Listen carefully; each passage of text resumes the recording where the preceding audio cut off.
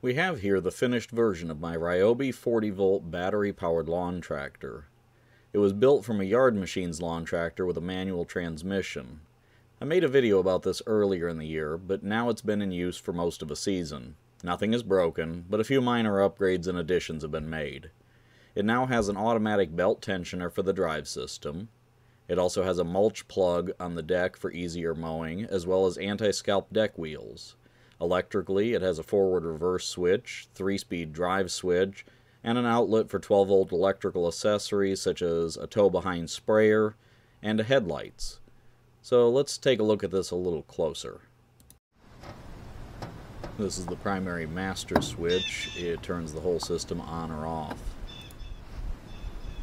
These two switches here control the left blade and right blade each one is a completely separate system using a separate battery, separate controller, separate motors, so they are controlled individually here.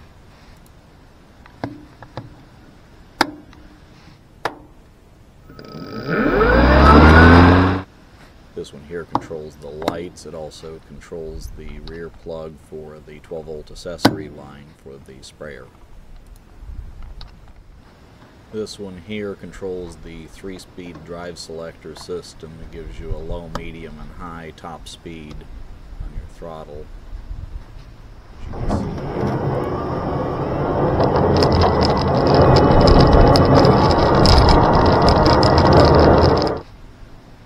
This switch here controls the forward and reverse system so that you don't have to use the transmission.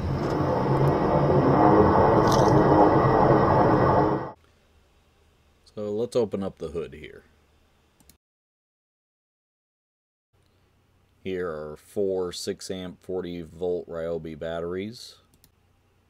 Each battery controls a different system, starting from the right hand one is drive, then the left blade, the right blade, and lights and accessories. These are the controllers for the blades. On the right you can see how the throttle control works by pushing a controller from an e-bike.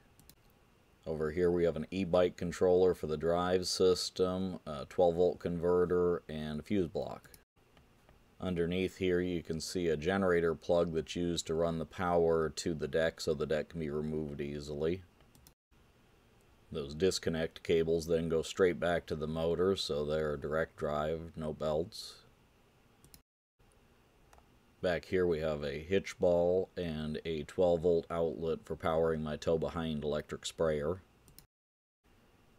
Back here under the seat we have an access port to the drive system so you can see the motor at the top left, then the idler pulley system which goes back to the main transmission drive.